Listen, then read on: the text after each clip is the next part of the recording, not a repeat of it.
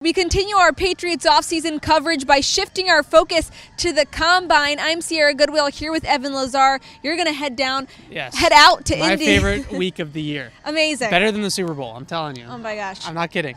M- may- n- people might not be on the same page with No. you as far as that goes, but I know you're excited. So we're going to break Yes. it down.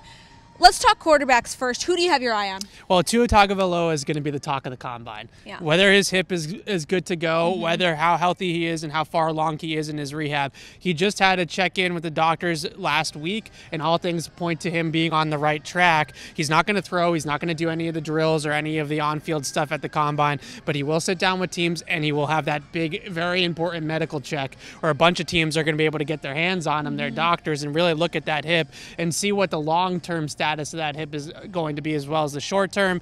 And then Tua is hoping to throw sometime in April before the draft. Also, listen, I think as a Patriots supporter, Patriots fan, you should be hoping that that report doesn't come back too clean because if Tua Tagovailoa all of a sudden starts falling down that board a little bit, the Patriots are sitting there at 23 with a need for a quarterback Yeah. of the future, and they don't necessarily need that quarterback to play in 2020 because Right. they'll have Brady hopefully in 2020 to play there. So you get Tua, you let him sit out the year and rest that hip, and then you hit the ball rolling the next season in 2021 with a darn good quarterback prospect, probably the number one pick in this draft if he's not injured and Joe Burrow doesn't go off for a whole year. And the combine's also obviously a time where quarterbacks can kind of increase their stock and eh, impress. Which quarterbacks do you think need to have a really good combine to get some more eyes on them? Well, I think the biggest thing about the combine for quarterbacks is there's not a ton to take away from it because eh, are you looking for a quarterback that can run a 4 5, right? It's not the same as like a wide receiver or a defensive back or something like that